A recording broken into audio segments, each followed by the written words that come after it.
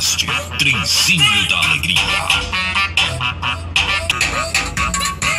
Querido bom, Serra Bundão. E também vou fazer com ela, rocha nela, nela.